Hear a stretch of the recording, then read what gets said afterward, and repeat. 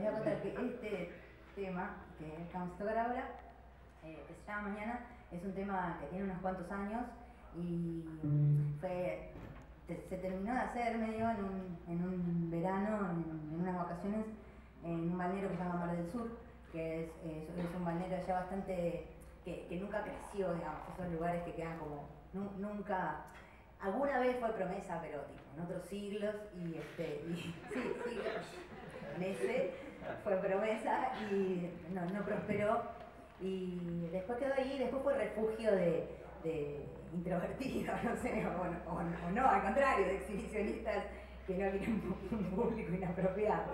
No sé, el caso es que este, ahí Mar del Sur eh, supo cobijar a, a personas eh, que segura, estoy segura que muchos de ustedes les hubiera gustado ir en alguna vacación de su vida. Y em, este, una, en, una de esas ocasiones que uno suele llevarse lecturas, ¿no? Eh, la cuestión es las lecturas de vacaciones, que, que, suele ser un momento muy dudoso, porque uno no sabe lo que le va a pasar. en el momento que guarda los libros, cualquier viaje pasa, no sabe lo que va a pasar en realidad en relación a su relación con la lectura. Después puede pasar que nunca abra ninguno de los libros o que lea solo uno o que, no sé, o que se ponga a leer el, diario del lugar donde está y otra cosa. Pero una, una, de las cosas que a mí me gusta hacer y con el tiempo asumí como que era un placer, en realidad no un problema, era, eh, es el asunto de la dispersión y las lecturas simultáneas. ¿no? Y el, bueno, llevarse finalmente esos libros, pero ya mirarlos no como voy a leer este y este y este, sino como estos son los libros con los que voy a estar y, bueno, a veces serán un posavasos también. Y a veces, bueno, la, justamente esa lectura intermitente eh, bajo distintos estados, del aburrimiento mismo, incluso hasta una exaltación de las 3 de la mañana, eh, hacen que esas lecturas eh, cumplan la función que en realidad tiene que tener la lectura. Finalmente para mí se transformó en eso, como que me di cuenta que eso era lo bueno, que, se mezclaban y, no importaba tanto, digamos, dar la lección de ¿y qué te pareció la isla del tesoro? No, es increíble el momento en el que... No era importante eso, sino que este, sin los datos, casi como si los datos se fueran al, olvido, cuándo, dónde, cómo, nombre, fecha, editorial, qué sé yo, todo eso se fue, y solo quedaran como las ideas que afloraron en esos momentos de lectura y se entremezclaran solas y dejarlas que se entremezclen. Y bueno, ahí estaban, ese verano eh, se, mezclaron como un par de libros que era un, relato de Conrad, un relato largo, se llama Mañana, que lleva el nombre del tema, eh, que es un, un, señor que espera la llegada de su hijo en una ciudad portuaria y siempre dice que mañana ya lo conocen todos en el pueblo, como el loco del pueblo, pobre, pero le dicen, los conocen como que es el que siempre le está diciendo que mañana llega su hijo, que se fue no sé dónde, que no se sabe qué pasó, y mañana llega, mañana llega, y ya todos le dicen sí, sí, ya todos, este, digamos, aceptan que este hombre espere que mañana llegue su hijo. Y bueno, el hijo no, no, por lo menos termina el, relato no llegó.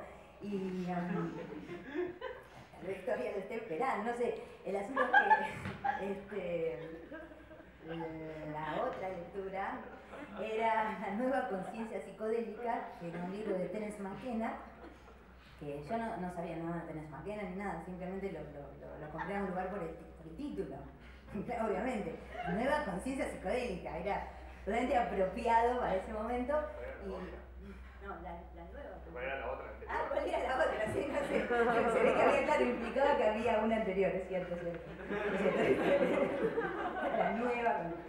yo, yo, en ese momento lo interpreté como que la nueva conciencia era psicodélica, digamos, como la, otra era la conciencia nomás. Esta era la conciencia psicodélica, que era la nueva. Eh, y. Tenía otro nombre en inglés, por supuesto, de, arquetípica, no sé cuánto, otra cosa, no, lo recuerdo. Pero porque los datos ya les dije que los olvidé. y bueno, y esta canción salió de cómo se mezclaron estas dos cosas, un poco estas ideas que, que, a mí me parecían utópicas acerca de, de, las drogas. O sea, yo nunca pude tener la relación de la que habla Terence con esas drogas. Es como la lo que llamo la utopía de las drogas. Eso que en realidad No, pero una droga por lo que la gente toma la droga, digamos, o sea, creyendo que no sé qué cosa, que no pasa tampoco, que es como mañana.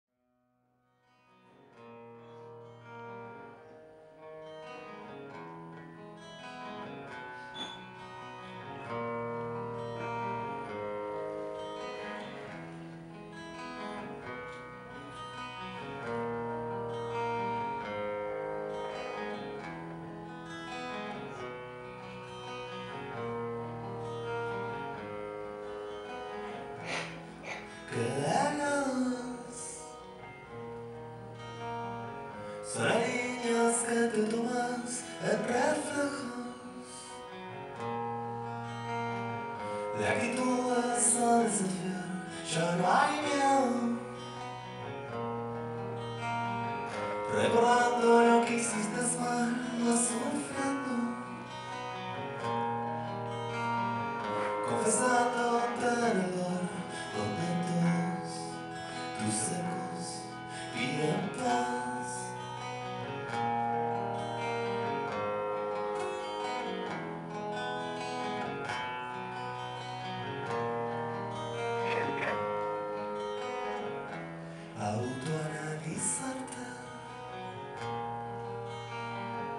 Hablando lo demás sin empates.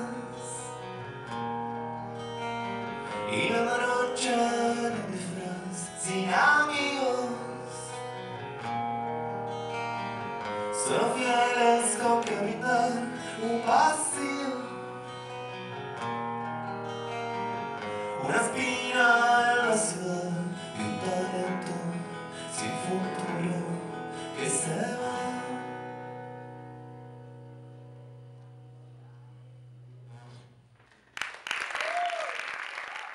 Un,